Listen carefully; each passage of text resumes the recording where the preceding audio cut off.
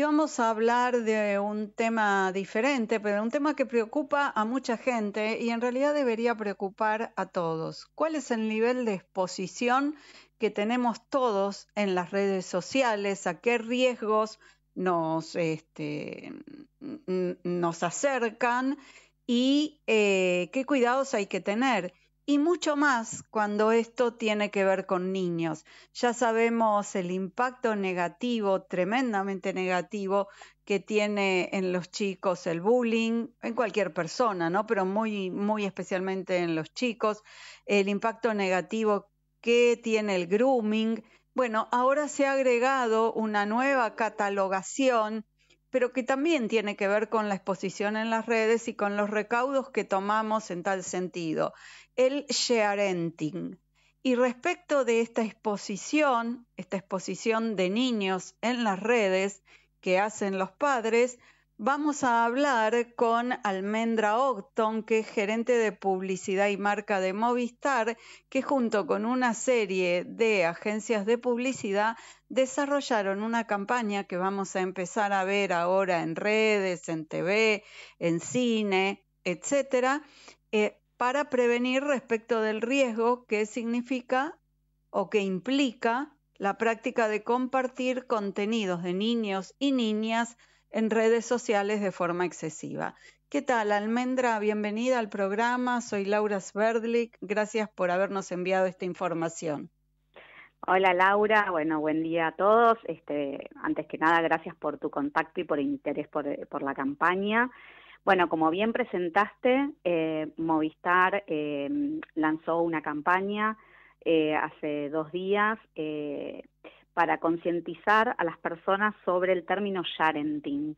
Sharenting es una palabra en inglés que combina la palabra share, de compartir, y parenting, de crianza. Y bueno, y describe un poco el comportamiento de que tenemos los papás y las mamás cuando compartimos contenido de nuestros hijos y de nuestras hijas en las redes sociales.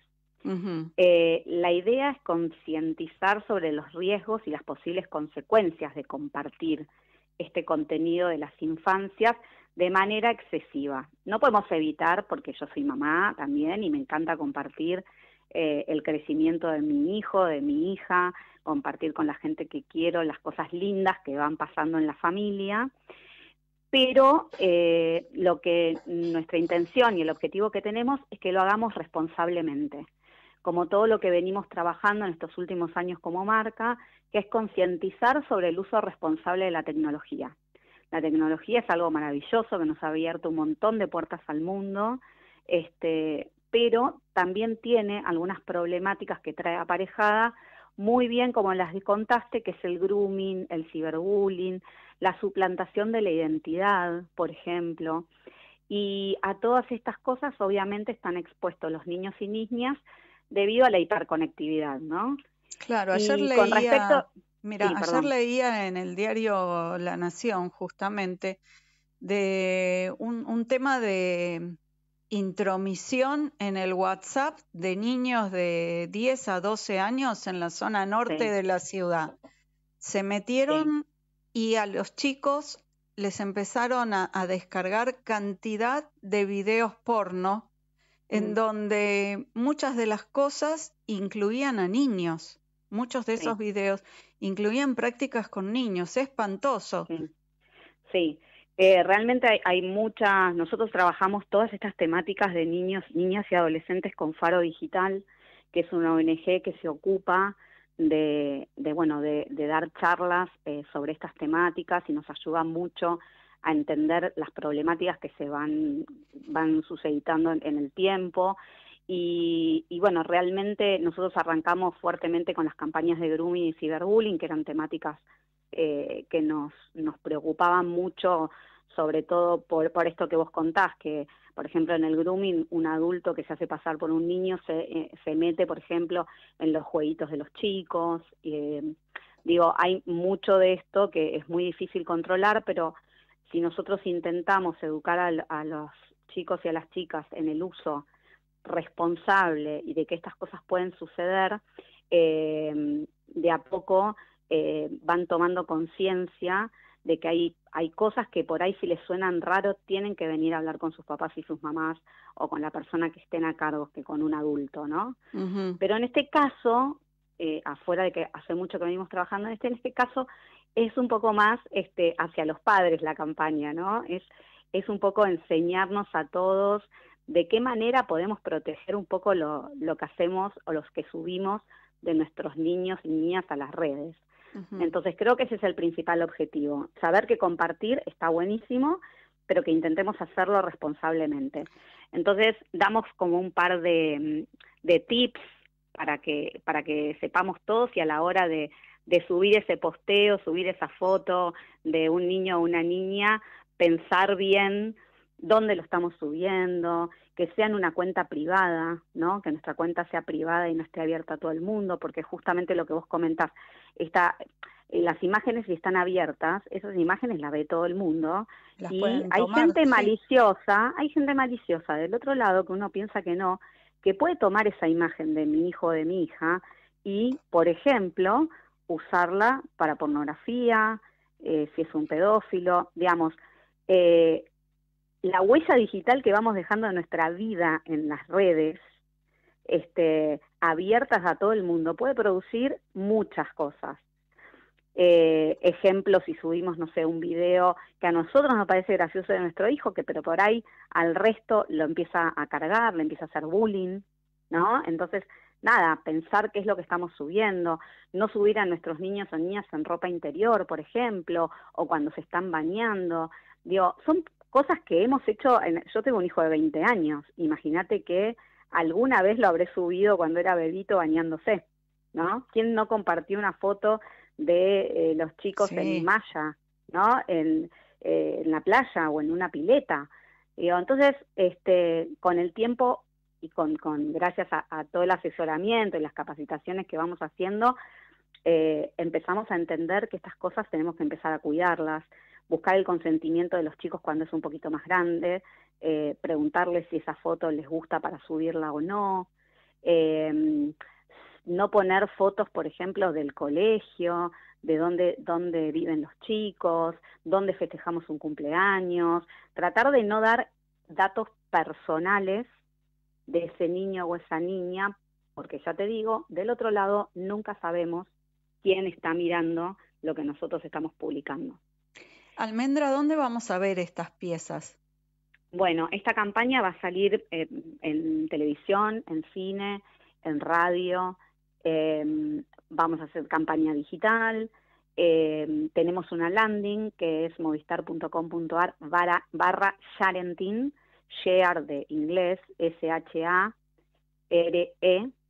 Ting, y em, ahí pueden encontrar algunos de los tips que estoy contando y entender un poco de qué se trata el sharenting, cuáles son los peligros, eh, un poco la descripción de cada peligro, eh, tips para tener en cuenta y bueno, entre todos y todas intentar este, hacer un mundo digital mejor y más sano, sobre todo para los chicos.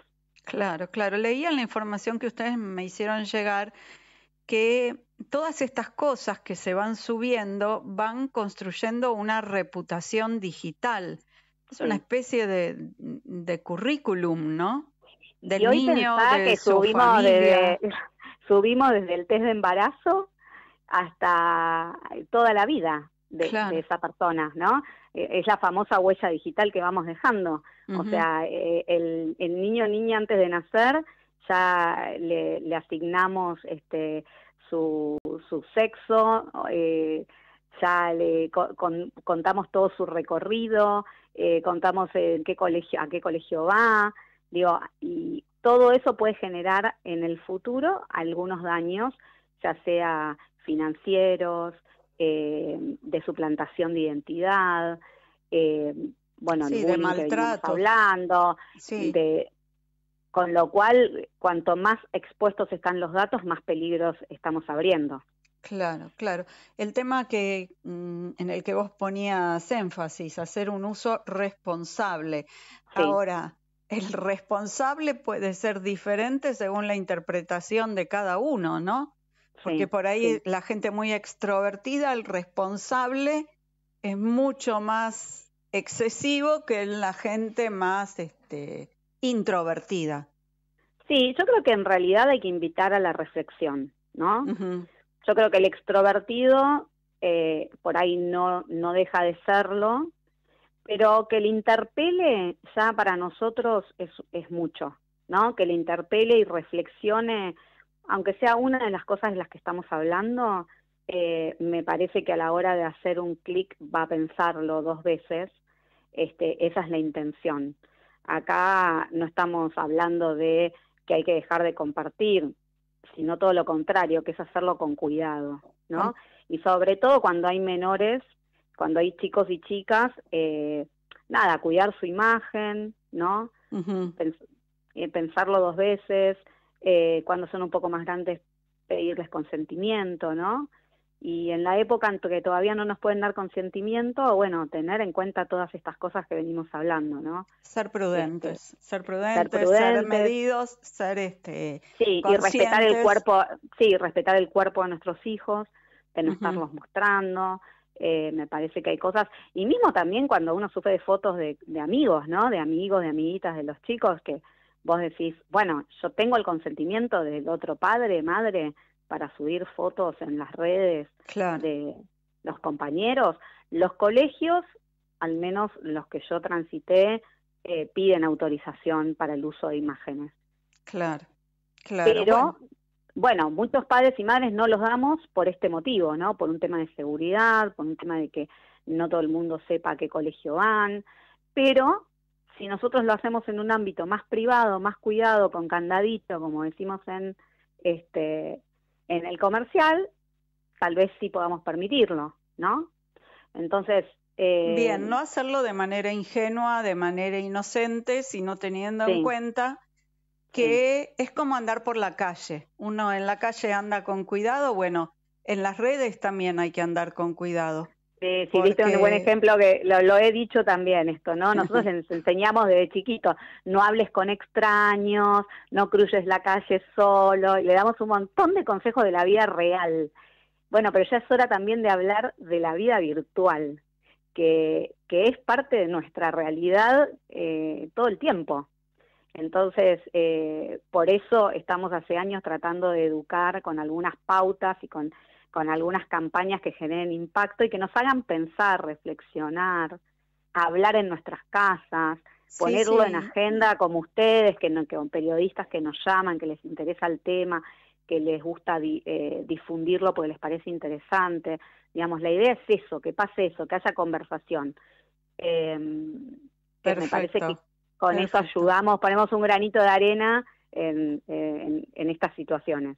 Perfecto, sí, sí, por supuesto, esto ayuda a perder la ingenuidad, la inocencia, a tener presente que es un ámbito nuevo que tenemos que aprender a transitarlo y sobre todo ser cuidadosos y precavidos y más cuando estamos este, mostrando la identidad de otros, que no somos nosotros mismos, nuestros hijos no somos nosotros mismos, son otras personas y tenemos que protegerlas.